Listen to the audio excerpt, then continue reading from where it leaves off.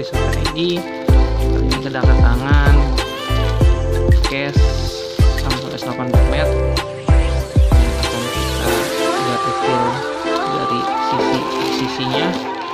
Kita buka. Ini, ini kayak model lama ya karena nggak ada tulisan.